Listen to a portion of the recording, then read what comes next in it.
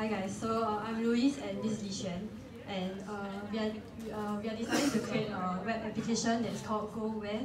So have you all uh, have this um, like sometimes over the weekend you all hang out with your friends, but you all like don't know where to go. That's why uh, we decided to create this web app. And then now Li Xuan will explain more about the possible features.